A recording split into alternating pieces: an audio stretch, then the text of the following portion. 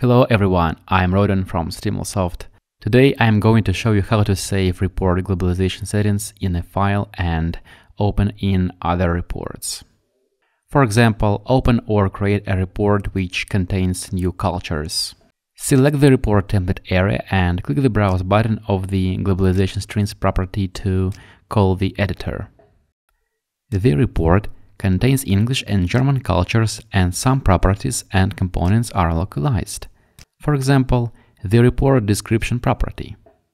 Click the Actions menu and select the Save As command to save these settings as an Excel file.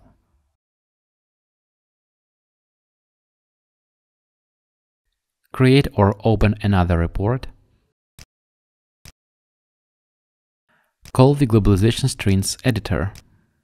Click the Actions menu and the Open command. Choose the Excel file with Globalization String Settings.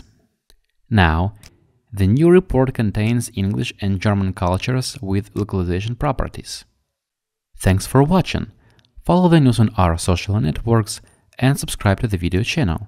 If you still have any questions, leave your comments below or send us a request to support at stimulsoft.com.